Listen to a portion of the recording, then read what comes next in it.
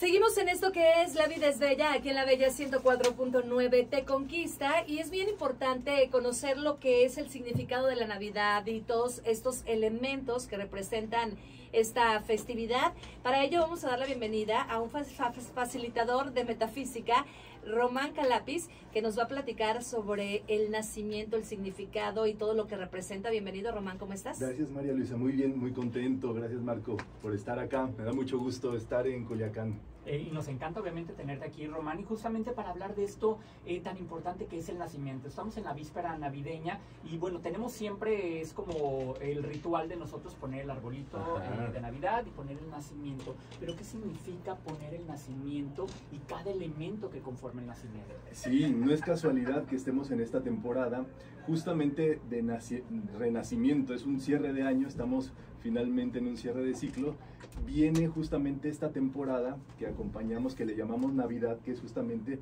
nacimiento o natividad, que eh, representa esa renovación del ser humano.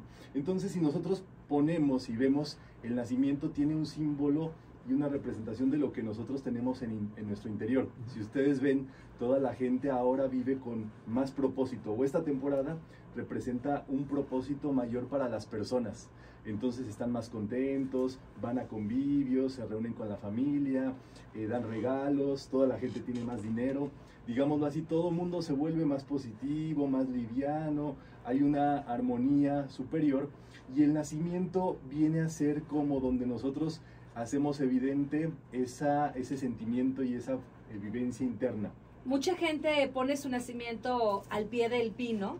Hay quienes tienen a lo mejor dedicado un área especial dependiendo del tamaño de la casa de cada quien. Hay quienes tienen jardines, lo ponen en el portal. Hay quienes compran nacimientos miniatura. Hay otros que son como de figuras muy grandes.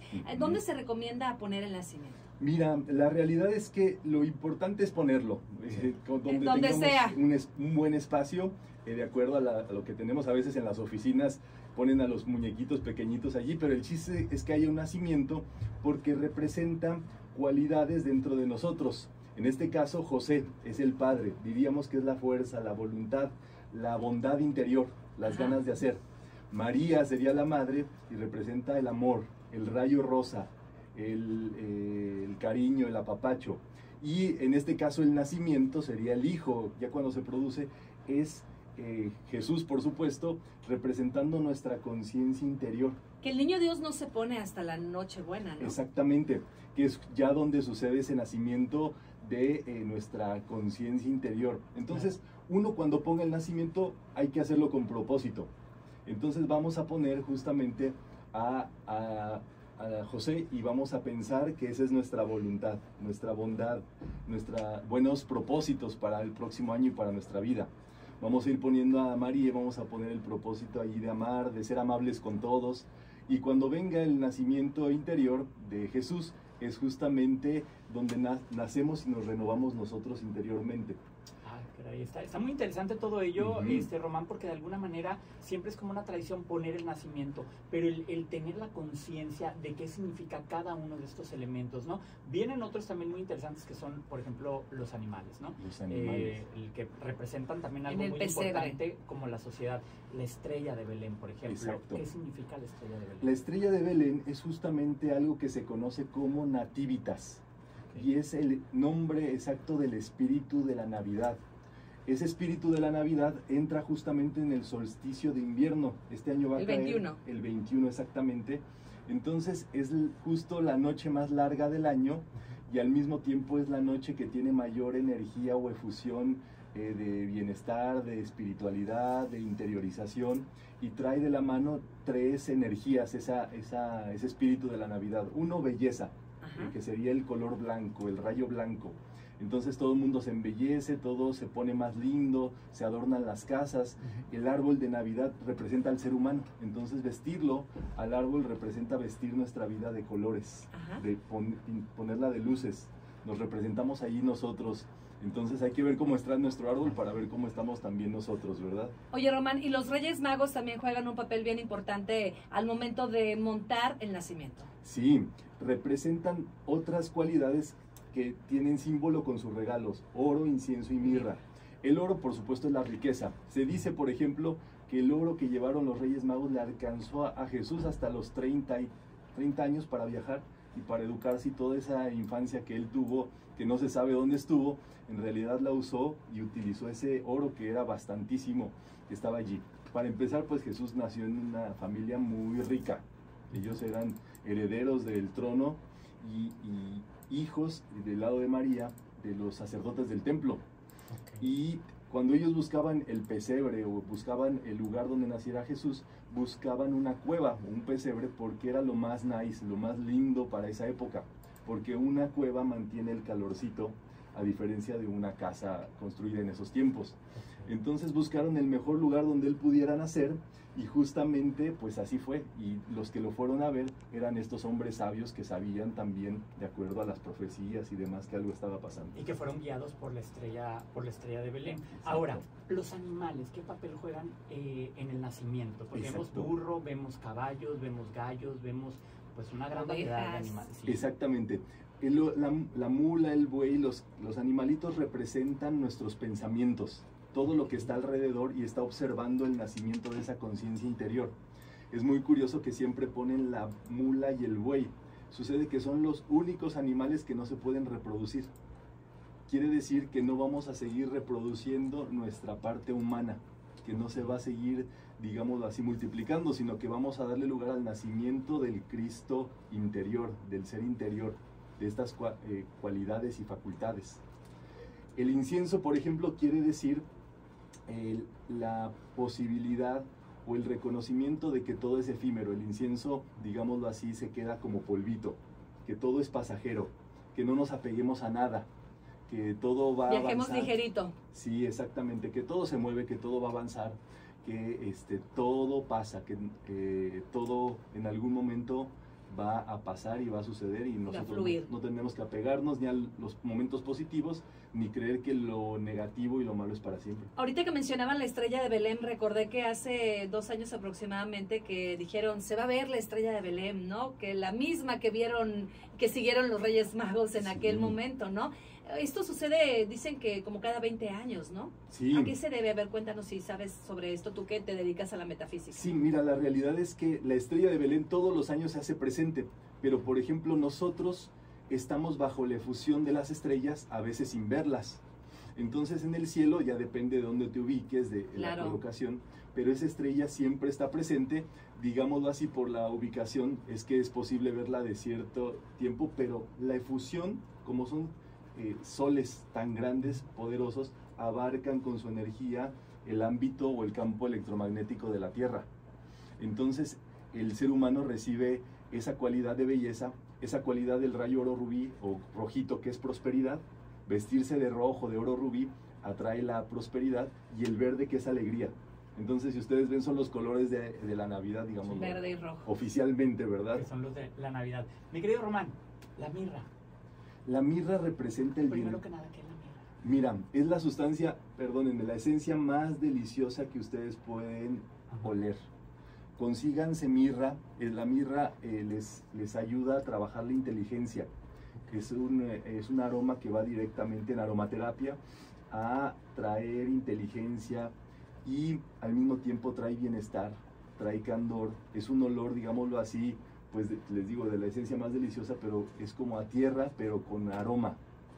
Y eso quiere decir el bienestar y la calidad de vida que se le auguraba a Jesús en este caso y en, pues también en nuestra vida. Entonces son las tres cosas, los tres regalos, oro, provisión, e incienso, todo es pasajero, no nos apeguemos, todo es impermanente. Y mirra, bienestar, calidad de vida, eh, disfrutar la vida, es muy importante disfrutar la vida. O sea, yo en este momento ahorita, o sea, no le voy a mandar cartita santa, me voy directamente con los Reyes Magos y ya sé que les voy a pedir. Exacto. O sea, oro, mirra e Y- incienso. oro, incienso y O sea, mirra. párale de contar, ¿no? Porque Ahí si están. 30 años viajando, imagínate es lo que quiero. Yo pedí para este 2023 puro viaje. Todo. Entonces voy a pedir puro oro. Entonces, Exacto. Oye, 30 años de viaje. Oye, Román, ¿y qué le dirías a, a la gente que nos están escuchando? Porque de repente mucha gente no reconoce el verdadero valor de la Navidad porque nos dejamos llevar por las cuestiones mercadológicas y de alguna manera lo vemos más frívolo, pero no le damos la verdadera esencia. ¿Qué yo- mensaje le darías a la gente?